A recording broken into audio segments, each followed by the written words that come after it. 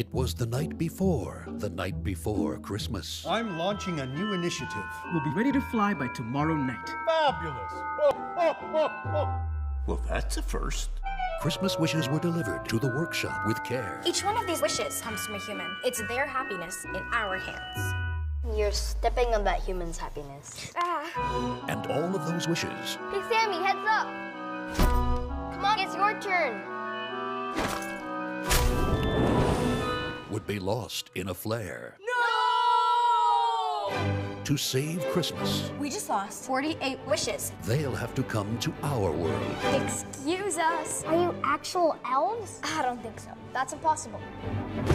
You guys don't know much about humans, do you? to remind an entire town what Christmas is all about. I want Christmas to feel like Christmas.